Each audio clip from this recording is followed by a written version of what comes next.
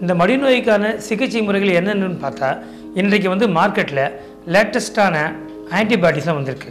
அது குறிப்பாக வந்து கிராம் பாசிட்டிவ் கிராம் நெகட்டிவ் என்று சொல்லப்படுகின்ற பாக்டீரியாவுடைய தன்மைகளை அனைத்தையுமே வந்து ஒழிக்கக்கூடிய அமாக்சிலின் கிளாக்சிலின் காம்பினேஷனில் நிறைய ஊசிகள் வந்துச்சுன்னா அது மட்டும் இல்லாமல் உள்ள இன்ட்ராமேபரி டியூப் ஏற்றக்கூடிய டியூப்லாம் வந்திருக்குது.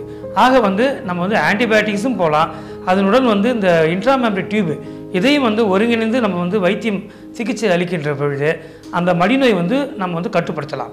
அது மட்டும் இல்லாத அந்த மடிநோய் வீக்கத்திற்கான மேல் பூச்சிகள் வந்து மார்க்கெட்டில் இன்றைக்கி கிடைக்கிது வச்சுங்களேன்.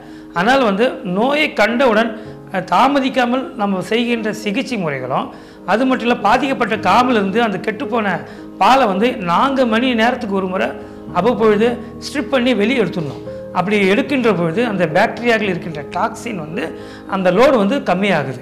அது குறைய குறைய மடியுடைய வீக்கம் கம்மியாகும். நோயுடைய வீரியம் வந்து குறையும்.